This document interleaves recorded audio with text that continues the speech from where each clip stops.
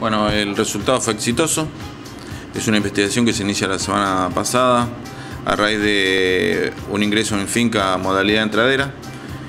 Alrededor de las 7 de la mañana el hombre regresa a su domicilio en la zona de 31 y 152. Es sorprendido por tres sujetos, uno de ellos una femenina, los cuales tras eh, reducirlo ingresan, roban dinero efectivo o electrodomésticos. Eh, a raíz de ello se pone en conocimiento al doctor Ichazo, se comienza a recabar información, datos suministrados tanto por las cámaras de seguridad acá del municipio.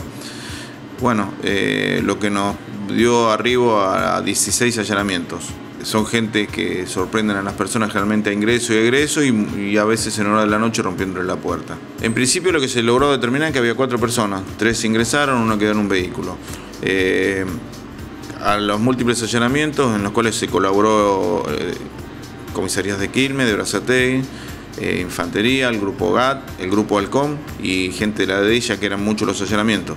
Eh, al irrumpir en las viviendas encontraron un lugar de acopio de, armas, logrando el secuestro de revólveres, pistolas y eh, elementos que simulaban ser policías, como gorras, tanto de federal como de provincia, chaleco de transportes, handy con frecuencia policial y la comúnmente llamada brecha, un caño que en la punta lleva un elemento plano en su cuerpo lleva una o dos manijas según el tamaño y según el peso.